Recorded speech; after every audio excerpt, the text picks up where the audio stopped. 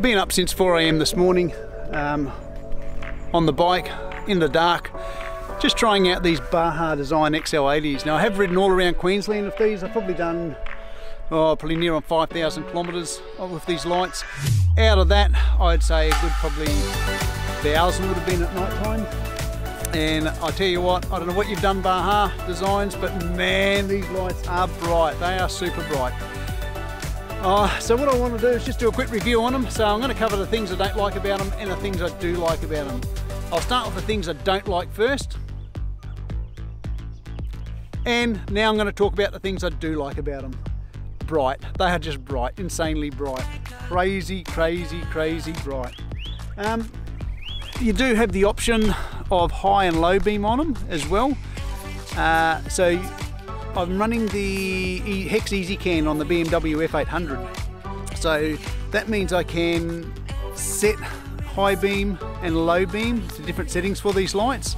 So I think at the moment I've got them high beam and low beam at night time.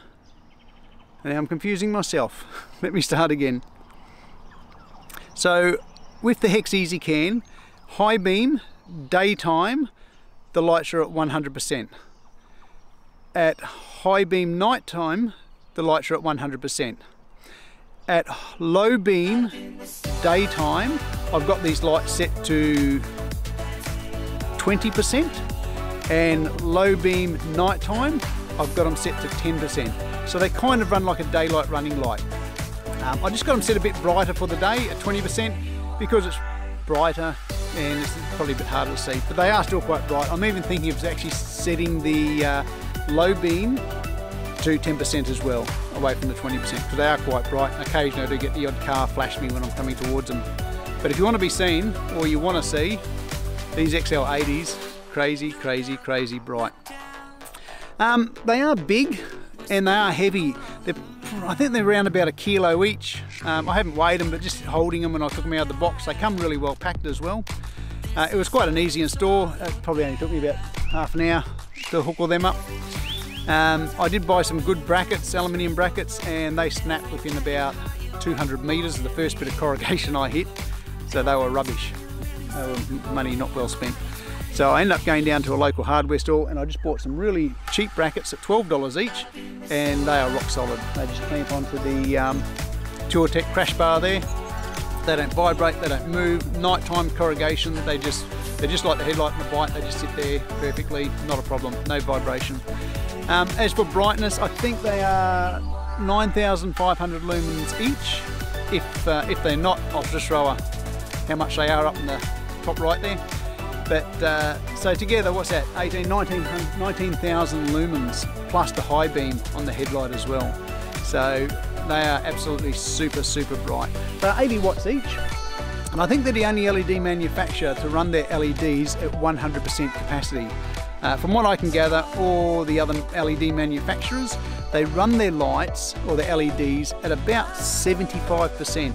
I don't know if that's to do with overheating or longevity or whatever, but uh, Baja Designs, like most LEDs, they say 30,000 hours for these lights, which is uh, a lot of night riding. And, uh, and they come with lifetime warranty as well. So the front rechangeable, uh, rechangeable. The front, you can um, change the lenses around so you can get like full spread. You can get, these are a combo, so the top top half of the lenses on this on the uh, lights are clear and the bottom half are lens, you know, for, for a bit of spread. So they're the combo, driving combo. You can get the spot or you can get the full spread as well. Uh, they're easy to change the lens. Four Allen screws, cruise, Allen screw, four Allen screw. They're easy to change, four Allen screws, and you can just pop that front cover off, change change that lens. There's a rubber seal in there, chuck it back on, and they're good to go. They say they can be water blasted. I'll have actually water blasted these to get bugs and mud and everything else off them, and uh, there's nothing, nothing's leaked into them so far. They're being pretty darn good. Uh, I've also got these other little Denali spotlights on the bottom. yep, they're 50 watts each. They don't really do much at all.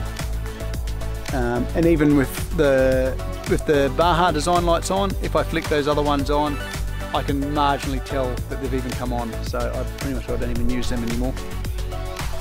Um, and like I said, they are big. They're big lights. They're not small. I think on a smaller bike they might look a bit funny, out you know, oversized. But on a big adventure bike, they kind of blend in okay. Big bike, big lights, big fun. anyway, all right, XL80s.